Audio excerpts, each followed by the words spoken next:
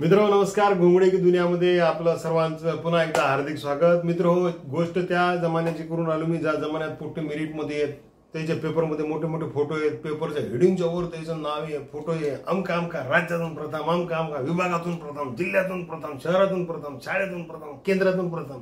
खूप माहोल राय ह्या पोटेले मार्क भेटत सत्त्याण्णव टक्के अठ्ठ्याण्णव टक्के नव्याण्णव टक्के खूप बातम्या आहेत की तो मेरिट आल्याबरोबर त्याच्या बहिणीने लगोलग बाजूच्या दुकानात जाऊन त्याला टी शर्ट घेऊन दिलं. मग सरकारच्या काही दिवसांनी लक्षात आले की हे कसं आहे की पोराच्या मनावर परिणाम करणारी गोष्ट आहे. हे भेदभाव वाढते याच्यानं. म्हणून मग सरकारनं ते बंद केलं. नाही तर माझ्या जमान्यात राजे इतके बेकार आले होते तुम्हाला सांगतो. की माझ्या घराजवळच्या एका पुरीले सत्त्याण्णव टक्के मार्क भेटले होते. माय काका म्हणले का पाय तिले पाय. तिले सत्त्याण्णव टक्के भेटले. म्या काकाने सांगितलं हो काका वर्षभर तिलेच पाहिलं. म्हणून तुम्हाला पंचेचाळीस टक्के भेटले. तर गोष्ट अशी होती बेकार. बरं बेकार. म्हणजे तुम्हाला सांगतो ज्या पोट्टेले कमी मार्क भेटले ना त्याले तर समजेने काय करा.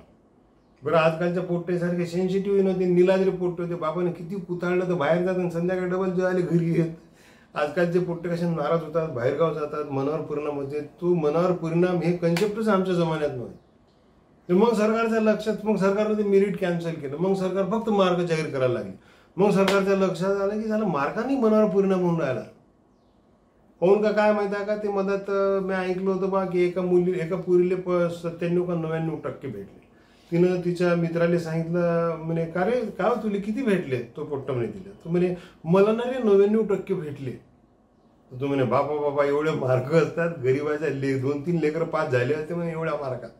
तर अशी गंमत राहील. मग सरकारनं ते मार्क कॅन्सल केले. आता फक्त ग्रेड दिले ए बी सी डी असे ग्रेड दिले. आणि ग्रेडनुसार पोट्टे आता पास होतात.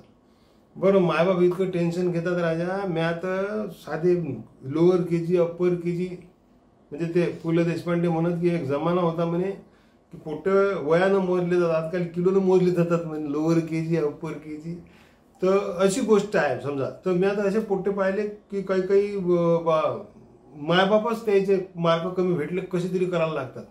जे पोट्टे मेरिटमध्ये त्या जमान्यात त्याचे मायबाप तर विचारू नका ना हो. म्हणजे मेरिट येलं ते पोट्ट. त्या पोट्टेने काही त्याचं कौतुक नाही. छाती काढून निरा मायबापा शिंड मेरा पोट्टा मेरा पोट्टा मेरा पोट्टा जिल्हे में पाहिजे मेरा पोट्टा. अरे बाबा बाबा अटले नाहीत लोक. म्हणजे आठ दहा दिवस तर ते पुऱ्या गावाने मॅट करून सोडत. मग त्याला कधीतरी सांगायला की अबे मेरी तू नाही आला ना तू तर धोप्पल धोप्पलमध्ये सध्या तू आहे ते होऊन गेला. मेहनत तुझ्या पोट्ट्याने केली तू नाही केली. पण तुम्हाला गंमत सांगतो कशा राहतात? आता मी महापोरा सांगतो. आम्ही काय करू? महापोरग पहिलीपासूनची गोष्ट. आम्ही निकालाच्या दिवशी संघ पेढे घेऊनच जात जा. नापास तर होत नाही हे तर माहीत होतं. बाकी म्हटलं किती मार्क भेटेल आम्ही पहिलीपासून पेढे घेऊन जात जा. लोक म्हणत का लागलंय का निकाल? मी म्हटलं नाही पाहू आता. म्हणजे पेढे? मी म्हटलं काय करायला लागते? या निक निकालानं काय होऊन राहिलं समजा? जैनं खूप मार्क भेटले त्यानं कोणते झेंडे गाळलेले आहेत तर आम्ही नाही समजा? गाळू नाही असं. असं एकूण समजा आलं लक्षात तुमच्या? तर तिथं काय शाळेत काही काही माया भेटत माया बायकोली. दीदी दीदी राम को कितने मिले दीदी राम को कितने मिले? मैं भाई को सांगे बाबा तेरे का उसको ना अठहत्तर परसेंट मिले. कॉन्ग्रेचुलेशन राम कितने अच्छे मार्क मिले किती अच्छे मार्क मिले. याच्या मागे उद्देश काय आहे की आपणही विचारावं तुझे लेकराला किती भेटले? मग मै बायको की या ऋतिकले किती भेटले? ऋतिक को ना दीदी सिर्फ़ 95 परसेंट मिले। मेरा ना इतना डिसमोड हो गया, इतना डिसमोड मेरी तो एक्सपेक्टेशन 99 की थी दीदी। मैं जब से इतना डिसमोड हो गई, मैंने तो स्वीट्स भी नहीं लाए दीदी। सिर्फ़ 95 लाए उसने। पण तिला सांगायचं आहे का माया पोट्ट तुझ्या पोट्टपेक्षा हुशार आहे आणि त्याला पंच्याण्णव टक्के मार्क भेटला हे सगळं सांगायचं कारण म्हणजे भाऊ, आजकाल हे टक्केवारी पोट्टीत राहिली नाही. आजकाल हुशार कोण आहे? साबणा. अरे हो ना बा अंग धुवायचा साबणा फरची पुसायचा साबणा कपडे धुवायचा साबणा तुम्ही जाहिरात पाहा सगळ्या साबणा नव्याण्णव पॉईंट नव्याण्णव टक्केच आहे. एकही साबण त्याच्यापेक्षा कमी नाही. आणि काही काही तर साबण इतक्या डेंजर नव्याण्णव पॉईंट नव्याण्णव टक्के आहे त्याले आणि ते कोरोनाही मारतात. मला अजून समजलं नाही हो ज्या साबणा कोरोना मारतात सरकार त्याचं सलाईन करून कोरोना पेशंटला टोचत कोण नाही? एवढी बुद्धी असून सरकारने समजली कोण नाही? पण मला म्हणणं काय इतके दिवसाचा मी पाहून राहिलो हे साबणं नव्याण्णव पॉईंट नव्याण्णव टक्के. मी म्हणतो हे पॉईंट एक पर्सेंटच काऊन सोडतात? या साबणे जराची मेहनत घेतली तर पुरे शंभर टक्के नाही होत काय? हा? थोडीशी मेहनत घ्या नाही ना. कितीक दिवस असे लोकांचे कैकल्या लोकांचे अंग धुवा? हा?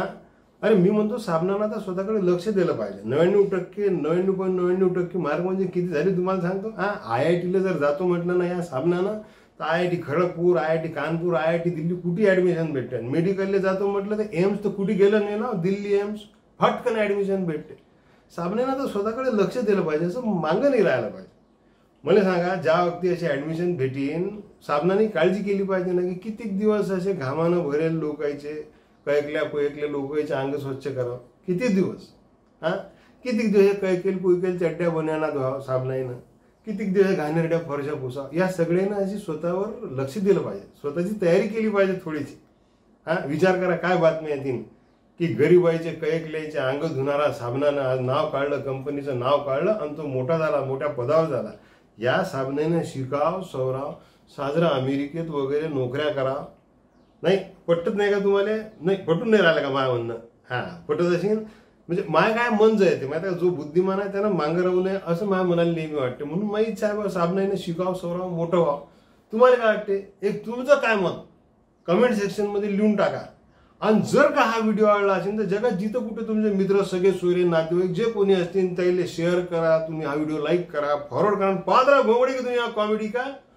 छोटा रिचा घोंगड़े की दुनिया घोंगड़े की दुनिया घोंगड़े की Lumière.